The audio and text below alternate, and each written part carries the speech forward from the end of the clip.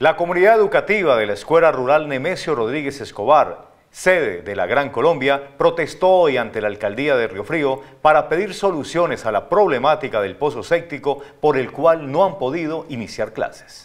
Padres de familia, docentes y estudiantes se acercaron a la alcaldía de Río Frío para pedir solución que les permita por fin ingresar a clases sin malos olores. Estamos aquí en la alcaldía municipal de Río Frío tratando de solucionar el problema de que inició desde ayer, nos declaramos todavía en paro.